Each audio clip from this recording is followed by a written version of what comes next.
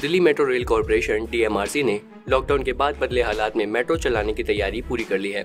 अब सिर्फ़ केंद्र और राज्य सरकार के आदेश का इंतज़ार है। संक्रमण से यात्रियों की सुरक्षा के लिए मेट्रो कई तरह के बदलाव करेगी। इसके तहत यात्रा के लिए टोकन की जगह अब स्मार्ट कार्ड का ही इस्तेमाल होगा। मेट्रो रेल कॉरपोरेशन, डीएमआरसी के मुताबिक स्टेशन के एंट्री प्वाइंट पर आरोग्य सेतु ऐप भी दिखाना अनिवार्य होगा। यही नहीं, सुरक्षा के लिहाज से तमाम औपचारिकताएँ पूरी होने तक यात्रियों को इंतज़ार करना होगा। स्मार्ट कार्ड और आरोग्य सेतु ऐप और थर्मल स्क्रीनिंग के अलावा सोशल डिस्टेंसिंग के मद्देनजर भी यात्रा के लिए अधिक वक्त देना होगा।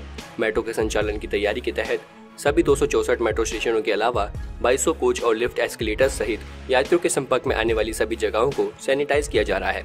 मेट्रो परिसरों सहित कोच के अंदर भी सोशल डिस्टेंसिंग के प्रति लोगों को जागरूक करने के लिए स्टिकर और सैनिटाइजर के ज़रिए ज़रूरी संदेश भी दिए जाएँगे। डीएमआरसी ने एक बयान में कहा है कि महामारी के मद्देनजर परिसर को संक्रमण मुक्त बनाने और रख रखाव का काम जारी है। डीएमआरसी इसके लिए गाइडलाइन तैयार कर रहा है, जिसमें मेट्रो के अंदर प्रवेश से लेकर बैठने तक की पूरी व्यवस्था पर नियम बनाए जाएँगे।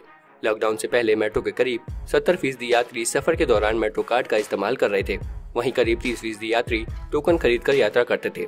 दिल्ली मेट्रो रेल कॉरपोरेशन के मुताबिक स्मार्ट कार्ड सहित संक्रमण से बचाव के लिए ज़रूरी सभी पहलुओं पर तैयारी लगभग पूरी कर ली गई है। सुरक्षा के तय मानकों का पूरी तरह पालन किया जाएगा। यही नहीं, दूसरे प्रदेशों के यात्री जो नियमित सफ़र नहीं करते हैं, उन्हें भी कार्ड लेना होगा।